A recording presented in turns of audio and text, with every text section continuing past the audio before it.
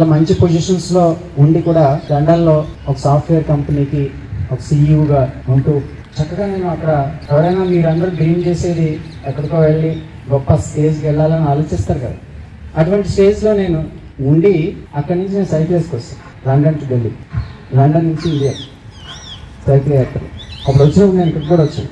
School నుంచి ఇలా ఇలా వెళ్తూ వెళ్తూ ఇలా ఎందుకు అలా చేయాలనిపించిందంటే భారతదేశం పరిస్థితి ఇప్పుడు చూస్తే మీకు మామూలుగా బాగానే అనిపించవచ్చు మీకు అందరికీ ఇప్పటివరకు మీ అవగాహనలో మీరున్నారు.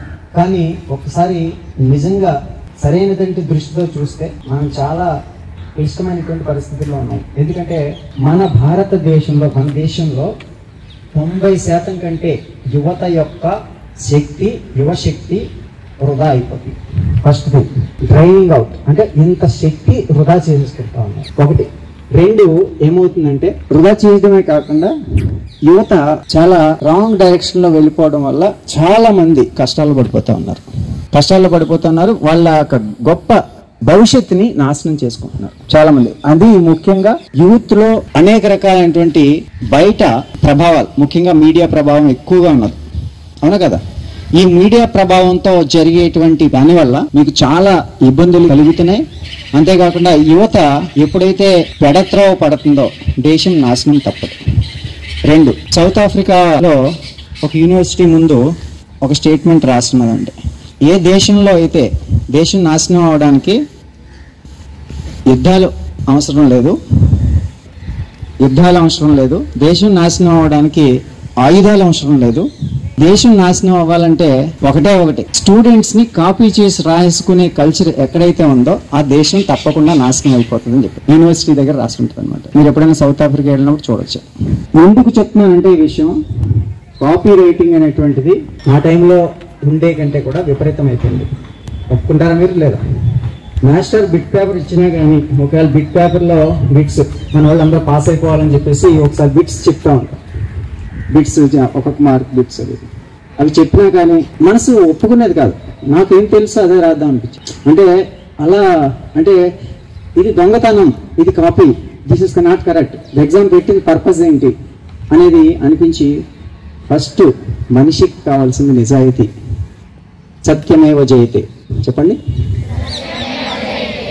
ఎప్పుడైతే మనిషి సత్యానికి కట్టుబడి ఉంటాడో ధర్మానికి కట్టుబడి ఉంటాడో అటువంటి ధర్మానికి సత్యానికి మారుపోయినటువంటి భారతదేశంలో ప్రతి అంటే almost more than ninety five percent of the people copy రైటింగ్తో pass అవుతున్నారంటే నా కంపెనీకి నాకు ఇంజనీర్స్ కావాలని వెళ్తే ఒక్క ఇంజనీర్ సరిగ్గా పనికొచ్చేవాడు కాలేజీలు తొట్టు కాలేజీలు ఎన్నో మీరు చూస్తారు నా ఇంజనీరింగ్ కాలేజీలు ఎన్నో మెడిసిన్స్ మెడికల్ కాలేజెస్ చాలా కాలేజెస్కి వెళ్ళాను. ఎంబీబీఎస్ కంప్లీట్ చేసి ఎండీలు చేస్తూ ఉంటారు. మీకు తీసుకున్నట్టే వాళ్ళకి కూడా క్లాస్ తీసుకోమని చెప్పి రంగరాయ మెడికల్స్లో వాళ్ళకి వాళ్ళు చెప్ పిలిచారు. పిలిచినప్పుడు రంగరాయ మెడికల్స్కి వెళ్ళాను.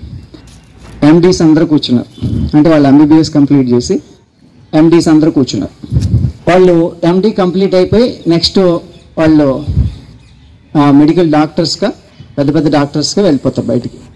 వాళ్ళు హాస్పిటల్స్ పెడతారు ట్రీట్మెంట్ చేస్తారు. నేను చూసింది ఏంటంటే అక్కడ నో క్వాలిటీ అట్ ఆల్.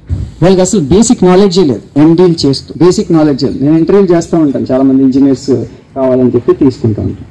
ఎవరు నేను ఇంటర్వ్యూ చేసినప్పుడు? ఒక సివిల్స్ ఇంటర్వ్యూకి వెళ్ళినా అంటే ఒక ఐఏఎస్ ఇంటర్వ్యూ గ్రూప్ వన్ ఇంటర్వ్యూకి వెళ్తారు గ్రూప్ టూ గ్రూప్ త్రీ ఇంటర్వ్యూకి వెళ్తారు. అలా అనేక రకాల ఇంటర్వ్యూకి వెళ్ళొచ్చు.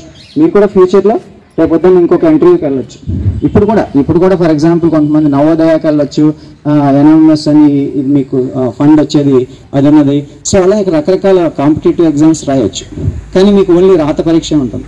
తర్వాత రాత పరీక్షలు కూడా బాగా గెలిచిన రాత పరీక్ష ఏం చేస్తుంటారంటే కష్టపడి రాసేస్తారు. కానీ మీకు కావాల్సింది ఏంటంటే కేవలం ఆ బుకిష్ నాలెడ్జ్ థిరిడీ నాలెడ్జ్ ఉంటే సరిపోదు. అర్థమైందా లేదా? ఎప్పుడైతే మనిషి ప్రాక్టికల్గా డెవలప్ అవుతాడు ఎప్పుడైతే మనిషికి నిజాయితీ ఉంటుంది పనిచేసేటువంటి తత్వం ఉంటుంది నిజాయితీగా. నేను ఎందుకంటే ఈ నిజాయితీని స్కూల్లో నుంచి చూస్తా ఉన్నాను.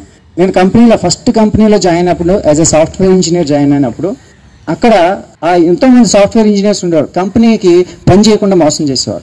అంటే పని చేయకుండా జీ- జీతం వచ్చి తీసేసుకున్నాం నాకు చాలా బాధ వేసేది కంపెనీ లాస్ట్లో పడిపోయింది. నేను జాయిన్ అయిన ఫస్ట్ కంపెనీలోనే. కంపెనీ లాస్ట్లో పడిపోయింది. నాకు చాలా బాధాకరం అనిపించింది అన్నమాట ఇటువంటి పరిస్థితి. ఇలా ఉన్నారా? ఇంత దరిద్రంగా అంటే జీతం తీసుకుంటున్నాం అంటే కనీసం ఇంగిత జ్ఞానం లేదా పని చేయదు? అలా పని చేయకుండా తీసుకు జీతం తీసుకుందాం అనుకునేటువంటి వాళ్ళు ఎంతమంది ఉన్నారు దేశంలో చూడండి. కరప్షన్ అంటే ఎక్కడి నుంచి వస్తుంది? ఇక్కడ కాపీ దగ్గర నుంచి మొదలైంది అక్కడ కరప్షన్ అక్కడ మొదలైంది. పని చేయకుండా జీతం కావాలి అనేటువంటి అంటే కష్టపడకుండా డబ్బులు వచ్చేయాలి కష్టపడకుండా మారుతూ వచ్చేయాలి.